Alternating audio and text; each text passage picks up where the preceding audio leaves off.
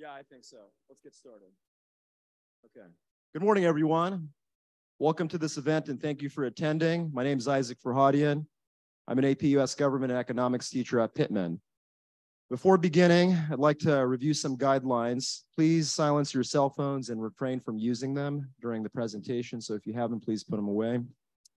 Uh, we have a brochure outlining today's agenda, so please take a look at it when you get a chance.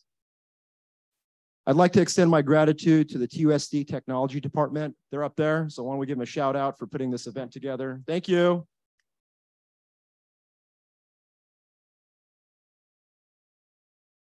I also want to give a shout out to Alice Stessman. Alice Stessman, why don't you stand up for knitting some peace sign armbands that resemble the ones from the famous Supreme Court case.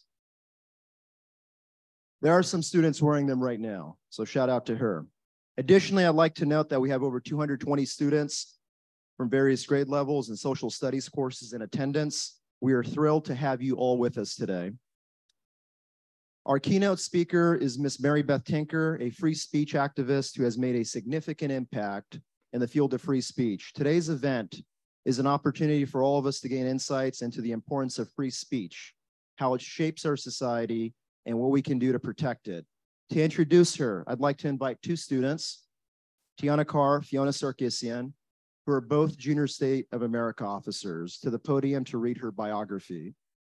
After they read her biography, she will give a presentation to you, and there will be an opportunity later to ask her a question during the Q&A session. So really quickly, uh, during the Q&A session, uh, if you have a question, you can come up to one of these mics state your name, state your grade, and then you can state your question. Give me a thumbs up if you got that. Okay, cool. So without further ado, let me hand it over to Tiana.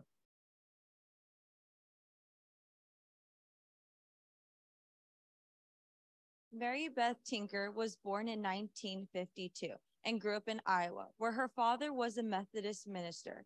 Her parents believed that religious ideals should be put into action, and the whole family became involved in the civil rights movement in 1960. Most students don't want to be suspended when they get to algebra class, but that's exactly what happened to Mary Beth Tinker in eighth grade at Warren Harding Junior High School in 1965. Her crime? Wearing an armband to mourn for the death in the Vietnam War. Four other students in the Des Moines, Iowa school district were also suspended, but the American Civil Liberties Union, ACLU, challenged the suspension in court, saying that the students had a First Amendment right to express themselves. The students' actions land, led to the landmark Supreme Court ruling in Tinker v. Des Moines that neither teachers nor students that should, quote, shed their constitutional rights to freedom of speech or expression to the schoolhouse gate. After the court victory, Mary Beth became a registered nurse and nurse practitioner, working mostly with children and teenagers. She holds master's degrees in nursing and public health. Mary Beth continues to educate young people about their rights, speaking frequently to student groups across the country. In 2000, the Marshall Brennan Project at Washington College of Law at American University named its annual Youth Advocacy Toward Award after Mary Beth. Mary Beth currently lives in Washington, but speaks virtually with students throughout the country on a Tinker tour to promote civics education and the rights of people. Ladies and gentlemen, we are now honored to welcome Miss Mary Beth Tinker. Please give her a warm round of applause.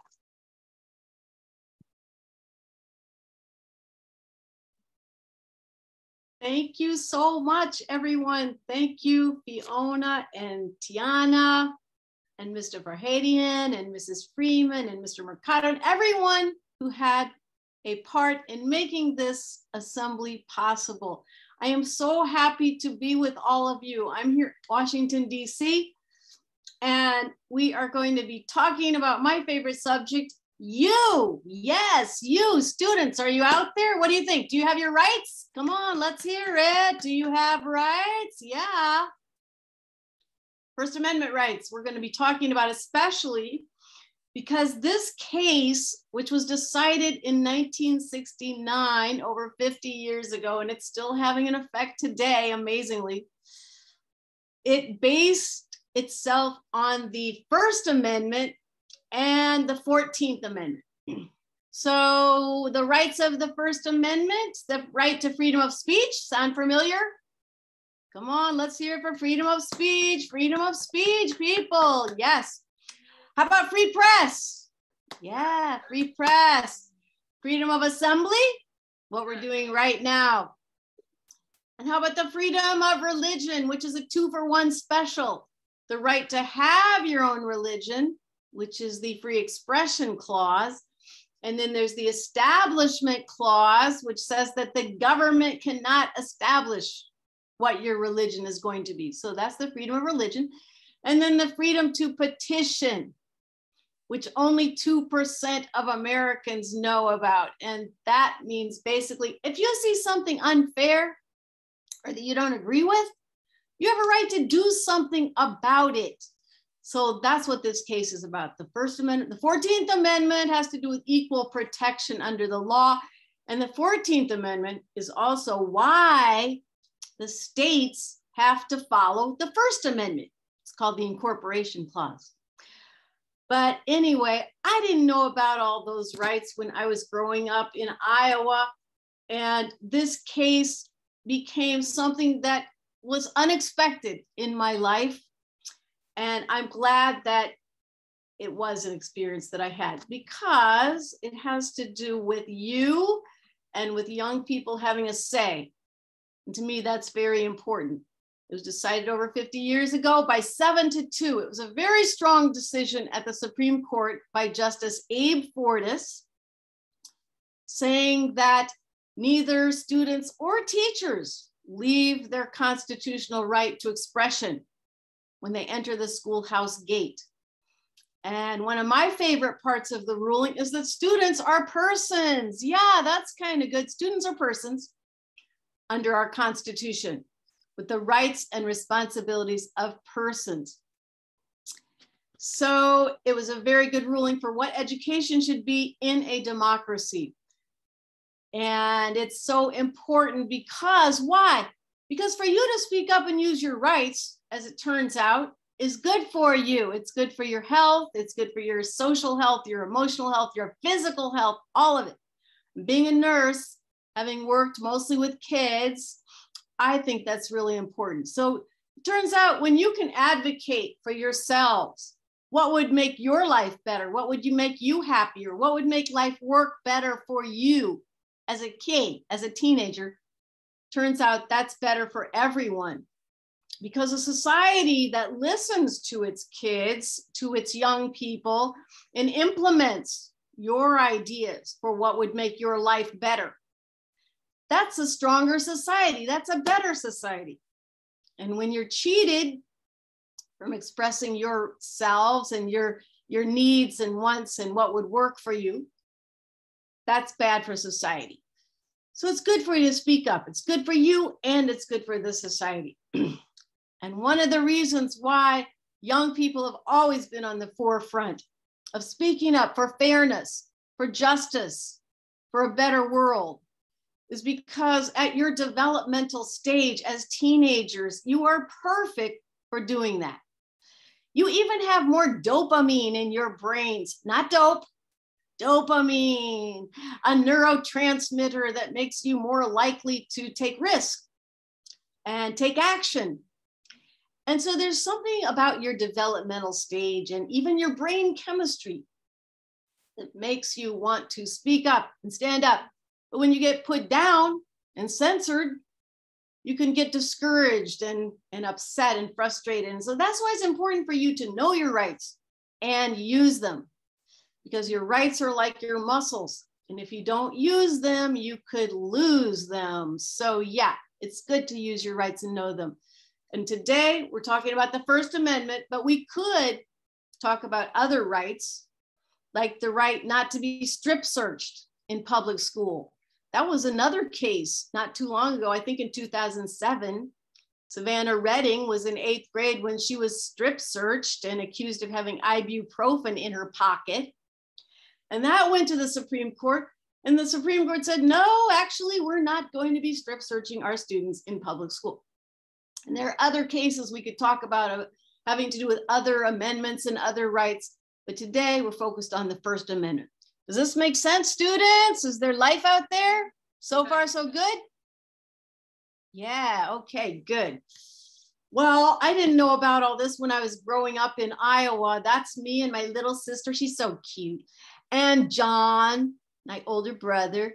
Well, our father was a minister, as the girl said, and my father believed, and my mother too, that you should put your ideas into action. If you believe in a more loving, kind world where we care about each other, and that's basically the basis of all religions, let's see some action. What are you doing with your life to make that happen? Don't just talk, talk, talk all the time. Let's see some action. So, when the swimming pool in town where we lived, it was Atlantic, Iowa, and I was five years old.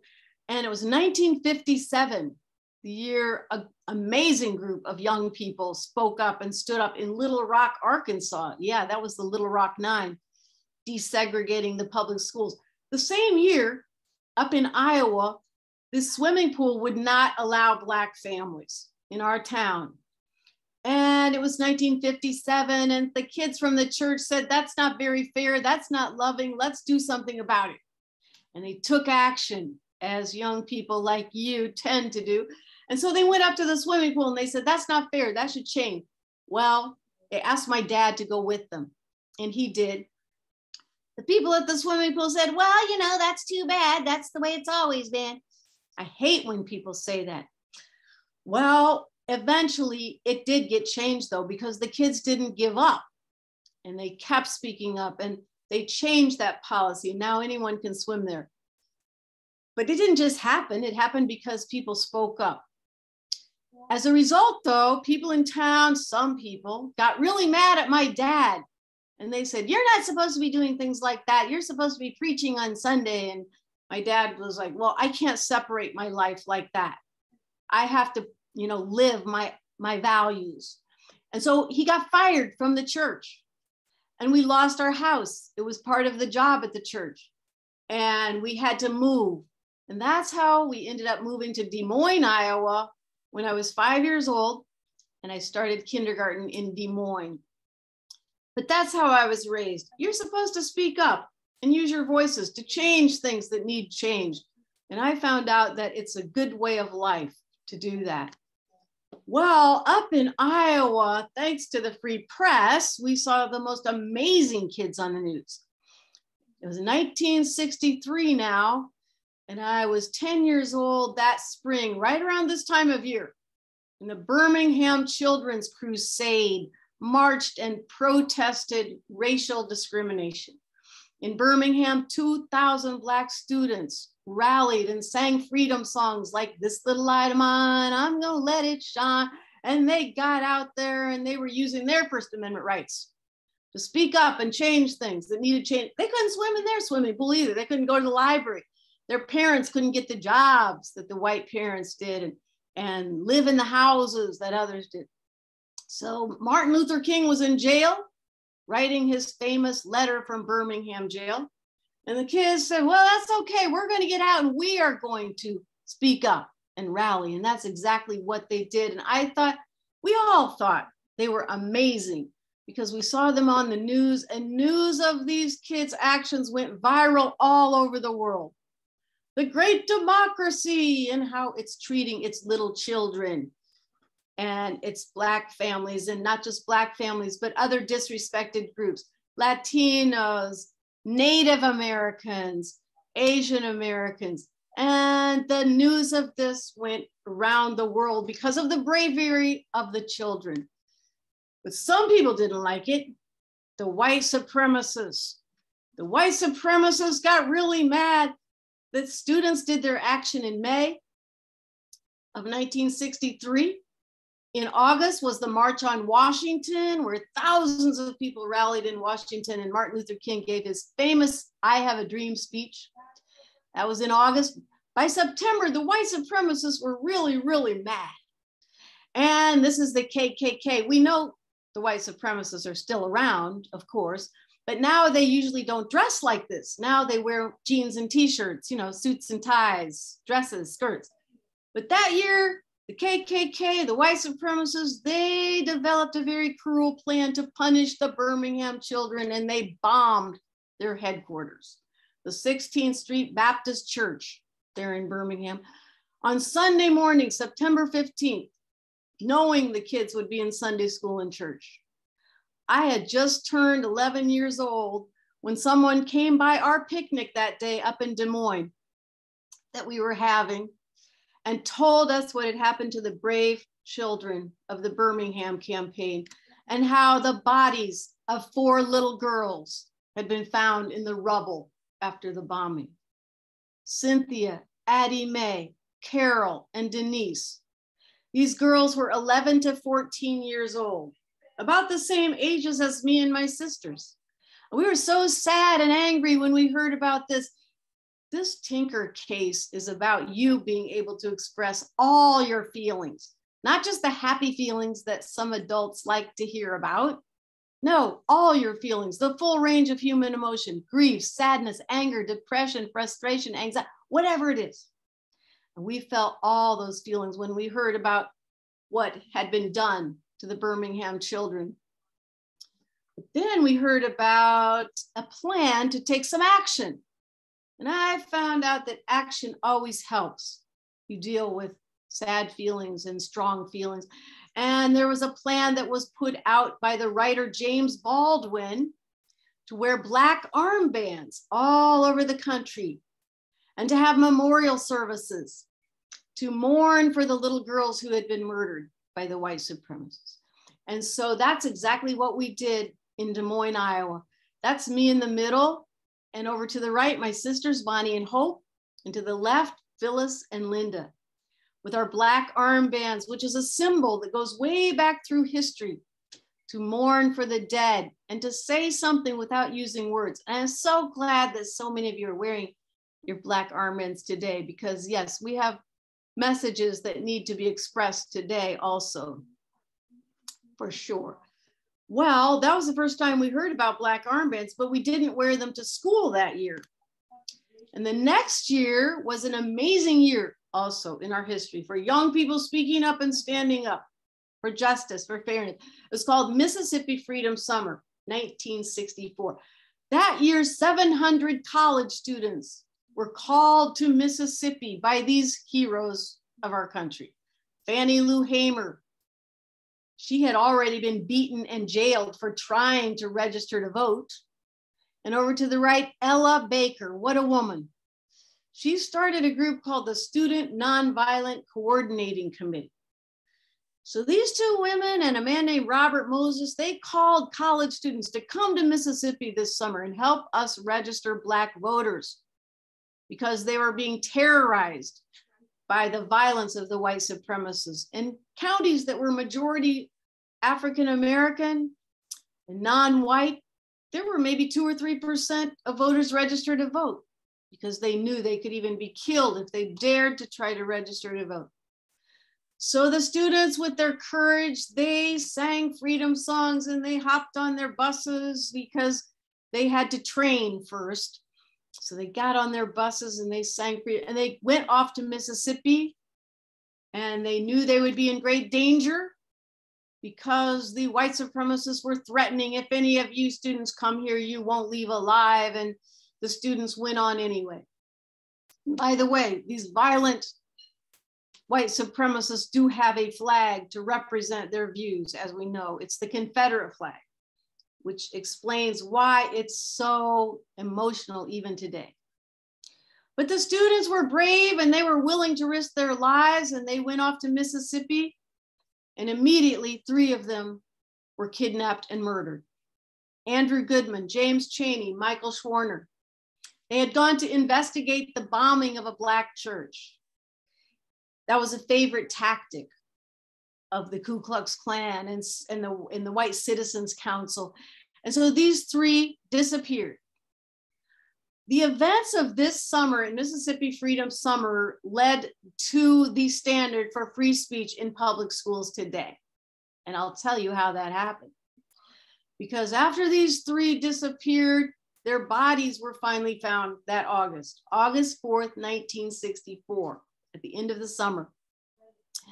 And when school started that September, some high school students in Mississippi, Black high school students, They decided to protest the murders of the three young men by wearing these buttons to school that said one man, one vote, SNCC, Student Nonviolent Coordinating. And they were told, no, no, no, you can't wear those to school. That's way too controversial for school. So they said, we have to talk about these things. This is our lives that are being affected. And so they started a court case. And the court case is called Burnside versus Byars. It went to the appeals court for Mississippi, which is the Fifth Circuit Court of Appeals. There are 13 appeals courts in the United States.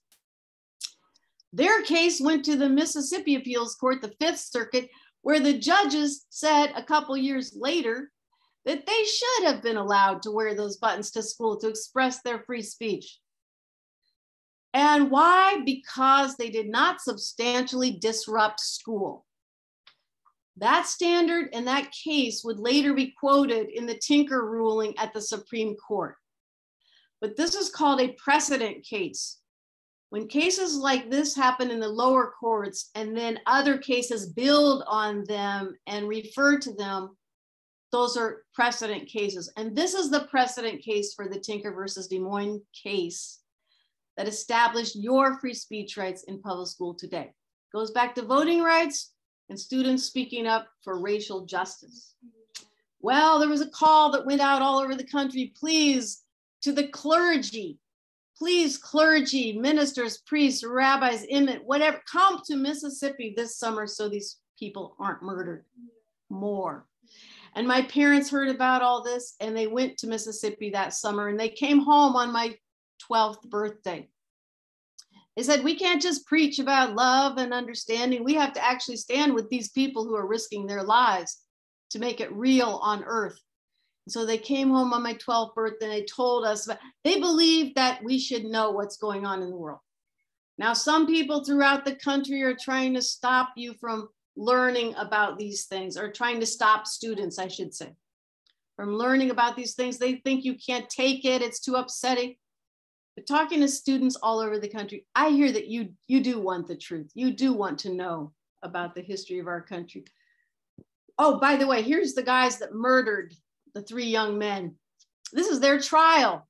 They're having a good old time. They're laughing, chewing tobacco. They know nothing's going to happen to them. They can kill any black person they feel like, probably any non white person too. And they can kill any white college student who comes down to help register them to vote. They know it's going to be okay. The jury was all white. The judge was all, the judge was white it would take a later Supreme Court case to say that you can't kick someone off a jury just because they're not white. But at this time, no, it's no problem. They knew they can do whatever they feel like. And here's the deputy sheriff and the sheriff. They were in on the murders also. They're waiting for the verdict. They're not too worried. They know it's going to be okay. In the end, nine of these guys did actually do some jail time, two to nine years for the murders of the three young men. And yeah, you can watch movies about this. It's called Mississippi Burning, and there are other movies about these important events in our history that led to your free speech rights in public school. At the end of the summer, the Civil Rights Act was passed saying that you cannot discriminate in public places like restaurants and hotels. And then the next year, the Voting Rights Act when the Voting Rights Act was passed, then millions of Black voters, Latino voters, Native American voters, anyone who was could finally register to vote without the great fear of violence, intimidation, and harassment that they had been facing. The Voting Rights Act said that the states that had been harassing people for registering to vote, from now on, they were going to have to check with Congress before they made any voting rights laws. And by the way, since you're studying these things, in 2013, the Voting Rights Act was weakened at the Supreme Court, which said, hey, you know, we're kind of past all that problem now. So these states that had to check with Congress, they don't have to do that anymore. Immediately, about 800 polling stations closed in those states. And people in Congress said, wait a minute now, we need a strong Voting Rights Act again. And so that's what they're doing right now. Some people in Congress are trying to get a strong Voting Rights Act now again because it was weakened in 2013 in a case called Shelby County. But anyway, I wanted to tell you that because voting rights was at the center of struggles for student free speech rights. Okay, I want to tell you one more thing. This is amazing. You won't believe this, but the same day that the bodies were discovered finally of the three young men, Chaney, Schwerner, and Goodman, August 4th, 1964, on the very same day, off the coast of Vietnam, a US Navy ship claimed it was attacked, the USS Maddox. It turns out it wasn't attacked. And here's an article from the US Naval Institute saying that the, it's clear now that high government officials distorted the facts and deceived the American public about events leading to the full involvement in the Vietnam War. The war was already going on, but it was under the radar of most Americans who didn't even know where Vietnam was. And they certainly didn't know the history of the country, that it had been a colony of the French and that the Vietnamese had a war of independence against the French, which they won in 1954. Most Americans knew none of that, but when they heard our Navy ship had been attacked, within days, Congress voted almost unanimously to start sending thousands more soldiers to Vietnam. It was called the Gulf of Tonkin Resolution, and President Johnson signed it within days. So by Christmas time, here's what we were seeing on the news war, war, war, all the time, the Vietnam War. And by this time, my family was also involved with the Quakers, which is a religion all about peace. And my father also worked for the Quakers by this time. So we were learning more about the war all the time, and we were seeing it on the news. It's called a war of atrocity because of all the horrible things that happened there. And us kids were getting more and more upset about this. It was mighty times like now. You are living in mighty times also. Some periods of history are more intense than others. We were living in one of those times, and you are again today, as a student pointed out to me recently. It's mighty times. Well, we were getting sadder and sadder about all this, and it was Christmas time, and my dad, you know, he would read to us from the Bible the story of hope and love and forgiveness, the little baby in the manger and all. People would send Christmas cards saying, you know, peace on earth. And we thought, yeah, why don't you adults try it sometime? Peace on earth and find a way to get along instead of fighting war all the time, violence. And so we heard about a plan to wear black armbands it was developed at Roosevelt High School with some of the students there. And the idea would be to wear black armbands, but to school this time. Not for the Birmingham children now, but for mourning the dead in Vietnam on both sides of the war and to call for a Christmas truce in the war so that the sides, the two sides could negotiate. See, kids are so logical. We thought, why don't these people negotiate and stop killing each other all the time. And so we decided to wear black armbands, and that's me with my mother and my dad behind, and two of the teenagers. I think that's Ross Peterson and Chris Singer. We decided to wear black armbands to school, but when the principals heard about it, they made a rule against armbands. And they said any student wearing an armband will be asked to take it off, and then they will be suspended if they don't. Oh boy, then we had sort of a moral dilemma. Should we still do it? Should we not? Well, a group of us decided to go ahead and wear the black armbands. Although my dad, he didn't think we should. He said, you know, these principals have a hard time as it is. I'm sure Mrs. Freeman would agree with that. And he said, I don't know if you kids should be wearing those black armbands. Your principal said you shouldn't. But you see, another of your qualities, young people, students, you're so persuasive. And so we said to our dad, Wait, dad, you told us to speak up for our conscience. And you even lost your job because of speaking up for what you believe in. And so we convinced our dad. Well, when the principals made their rule, Chris Eckhardt also wore armband, and five of us got suspended. We tried to change the school board's rule, but they would not change it, although several of the school board did vote in favor of us. And so we went to school, we got suspended. Some people got really, really mad at, at us for that.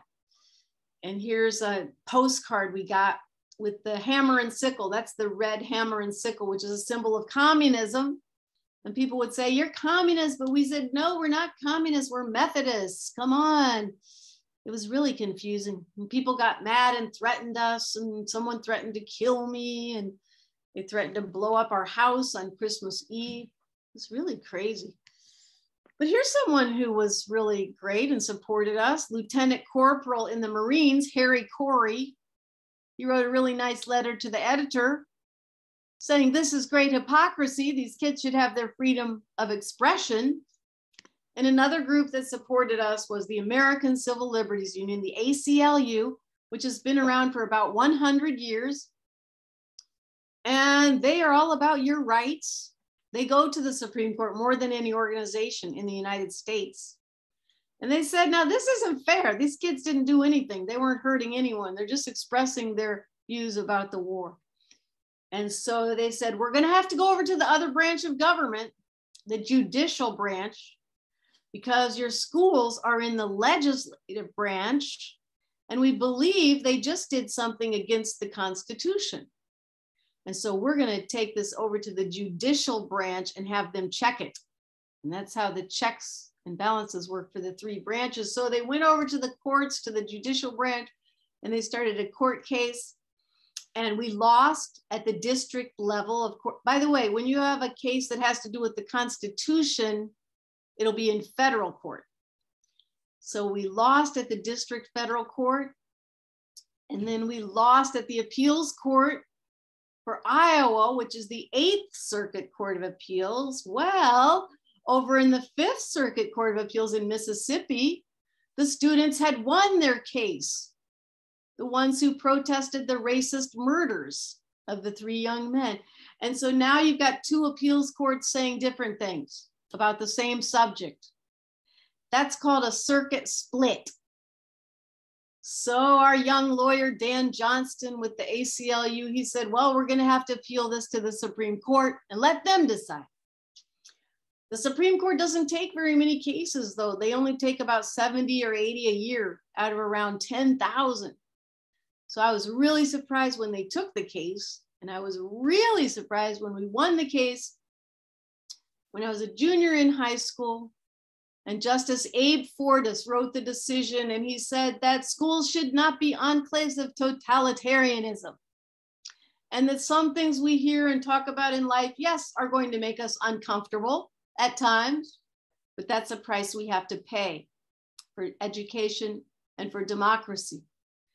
And they made their famous statement that neither students or teachers leave their rights when they enter the schoolhouse gate. But all rights have limits, yes, because other people have rights too, and we have to balance all of these together.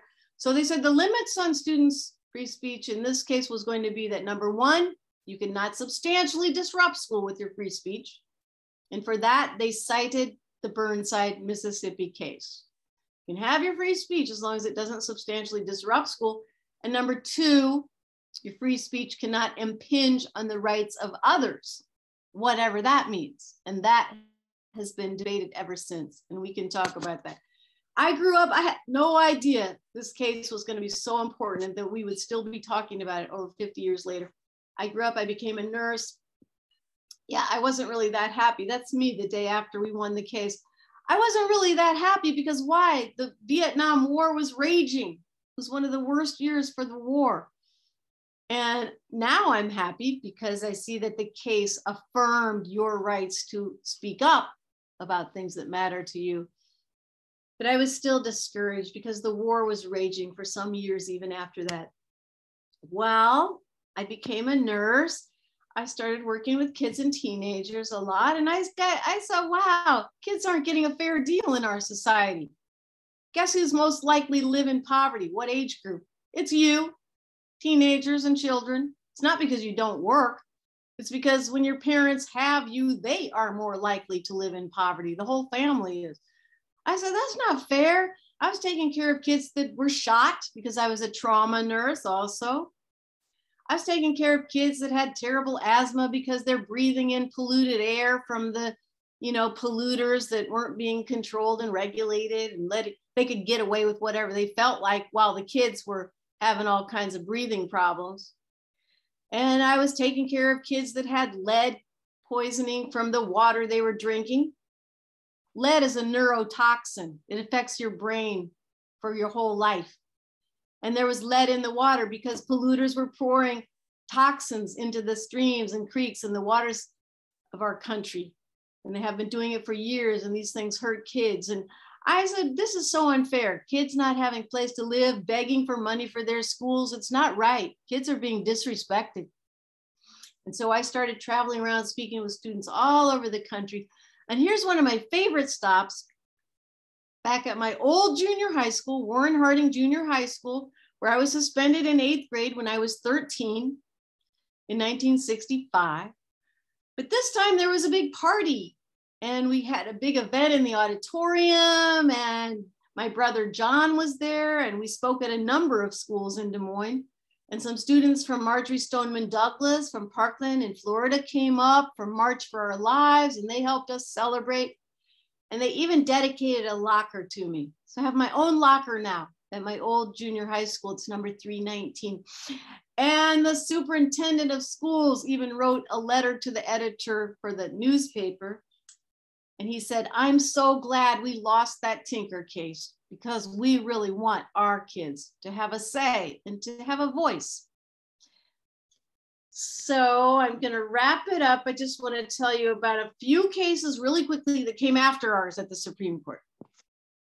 After our case, there were three cases that cut back the, your rights in public school. And they're all ACLU cases. Bethel versus Fraser said that you cannot use your free speech for obscenity. Hazel versus, Hazelwood versus Kuhlmeier said that if the speech, what you're saying is school sponsored, like a school newspaper, the administration has more right to censor you. However, 15 states, including California, have passed legislation saying, no, actually, we're going to give our kids the journalism rights and they're not going to be censored in their journalism. So that's Hazelwood. And then Morse v. Frederick, which is also known as the Bong Hits for Jesus case, where the court said you cannot advocate for illegal drugs with your free speech in school. Those are all ACLU cases. And the last one I want to tell you about was a victory for students' rights in public school. Mahanoy versus Brandi Levy. It was the summer before last. Brandi had basically cursed her cheerleading program on Snapchat. She was punished in school for doing that. The case went to court. She won at every level. It, she won at the local level, she at the district level, she won at the appeals level for Pennsylvania. She was in Pennsylvania. And she won at the Supreme Court by eight to one. The only justice who voted against her was Clarence Thomas, but everyone knew he was going to vote against her because he has said that he doesn't think students have free speech rights in public school. So everybody knew he was going to vote against her. But that was Brandi Levy recently in 2021. So, people, that is my story. And now let's hear from all of you. What do you think, students? Does it make sense? Good I'm glad you thought it made some sense. Great.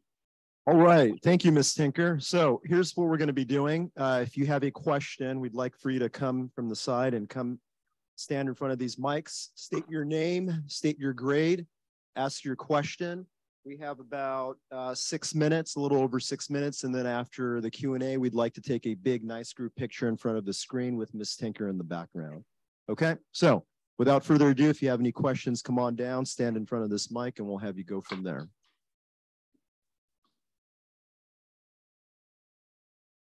And also students, if you ever want to write to me, write to me at tinkertour at gmail. And I'll write you back. Yes, my dear, I see a brave person there. Hello, I'm Felix. I'm, I'm in the 12th grade. Uh, Hi, Felix. How do you think um, students like us can use our free speech to push against like recent state legislation has been trying to censor certain curriculum in school. like- Yes, yes. Thank you, Felix, for raising that. It's terrible the way that states are passing legislation to censor you to ban books. There are something like 1,300 banned books now, and you can follow what books they are at the American Library Association and at PEN America, the Writers Union. But Felix, do you feel like there are things you can do? I say, you know, find out what's already going on and join up with others. Why start a new group? Maybe you could have a group in your school. Let's be, I know you're a senior, so you're not there too much longer. But when you get to college, or if you go to college, and you don't have to, by the way, this is going to be an issue as an adult for you as well. So, what do you think there are things you can do to speak up? Um, I know that the first step is to always organize a certain like group or movement. I know um, certain clubs that are here in Pitman that can aid with that, but I'm just Yeah. I'm not sure like the exact steps to go forwards to exactly like establishing that sort of um, Yeah, yeah. I say do a little research, find out what's going on. What groups are speaking up against that kind of censorship? Like they tried to censor uh, AP African American Studies in Florida, and that's going on all over the country. You know, see what groups are are pushing back and speaking up about it, and then you know maybe you can uh, join in with one of those. It do- it is an interesting, good life. That's what I found out, and it should be make it kind of fun too you know, some parts of it can be kind of interesting. Like students in Rhode Island, they spoke up against all the test, test, tests all the time. They dressed up like guinea pigs and rats at the legislature, you know, so maybe you can find what's going on already and join up with them. I'm so glad you're raising that. Just knowing about it and paying attention is, is part of the plan. And I'm glad you're already doing that. Thank you. Thank you so much, Felix.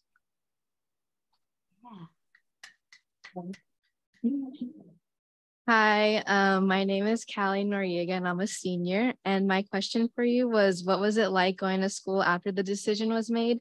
And did faculty members treat you differently?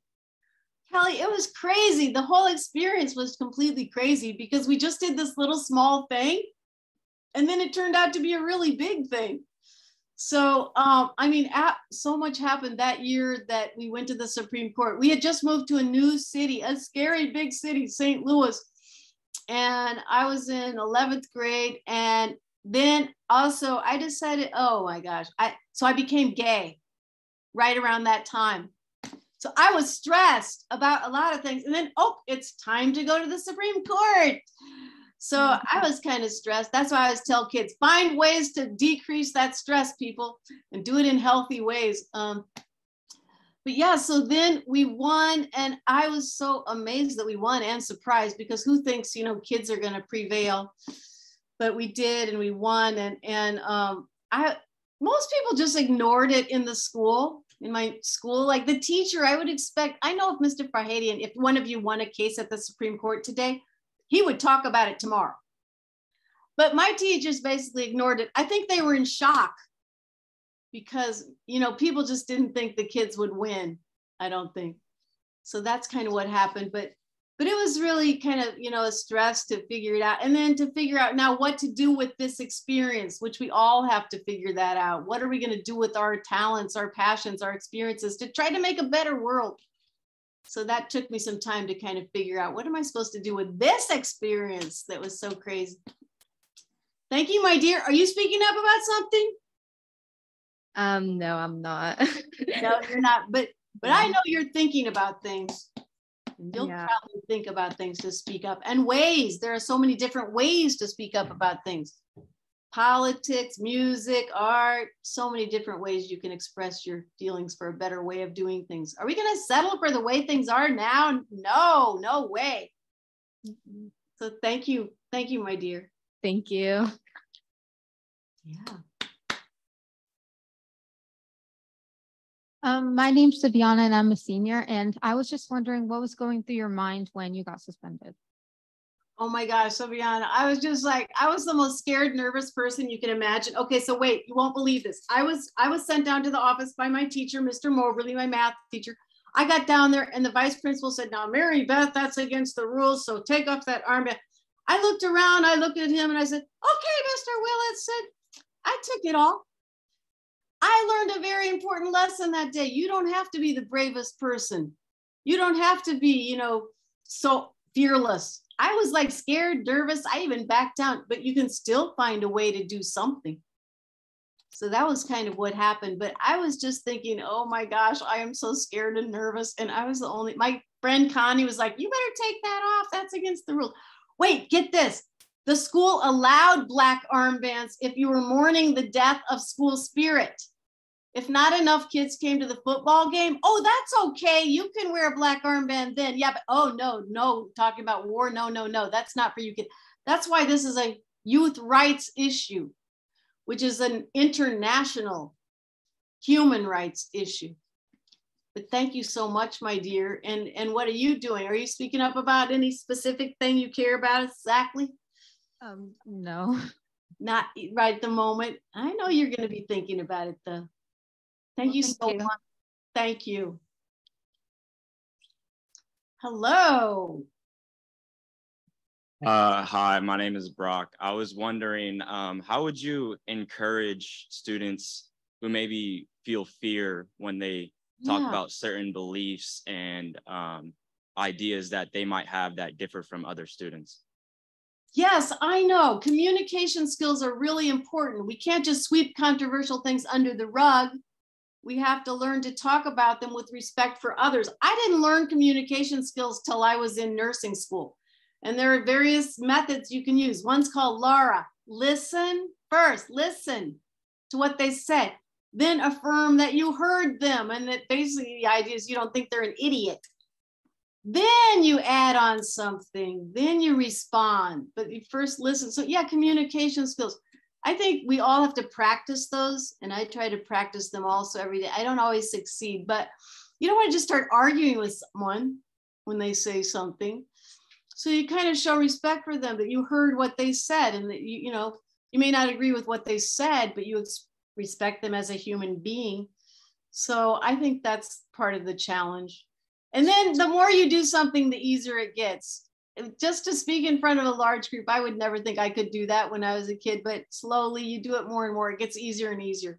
Is there something you want to speak up about? No, I was just wondering. Just thinking about it. Awesome. Thank you. Let's give a round of applause for Mrs. Tinker. Thank you so much. Thank you so much. Thank you so much for inviting me, everybody. It was great to be here, and I hope you will Tinker, use the your right. Gonna ring in a second. We wanted to take a group picture in Oh, front yeah, of the let's screen with do it. you. So guys, hey, come on down. You're welcome. Uh, grab your Okay, stuff. don't leave it students, behind. Photo op. Stand in front of the screen, take a Let's nice big do it. picture, and then uh, That would be great. go from there. And thanks for arranging all of this. I appreciate it so much. Thank you. Okay, students, photo up. Let's do it. Free speech for students.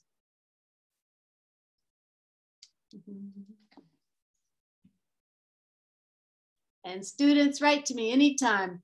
I'll write you back. Tinkertour at Gmail. I'll write to you if you write to me.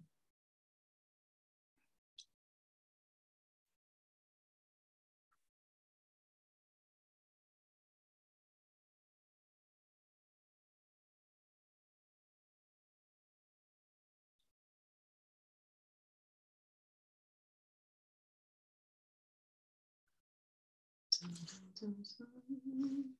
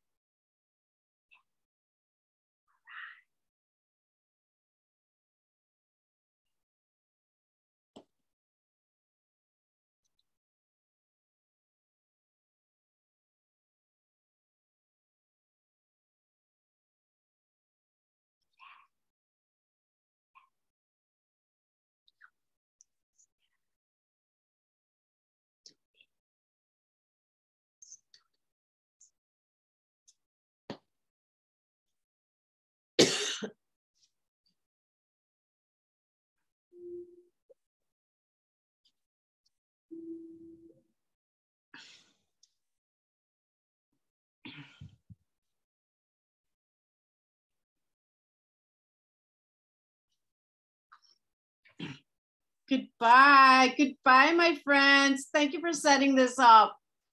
And I hope we can meet again one day.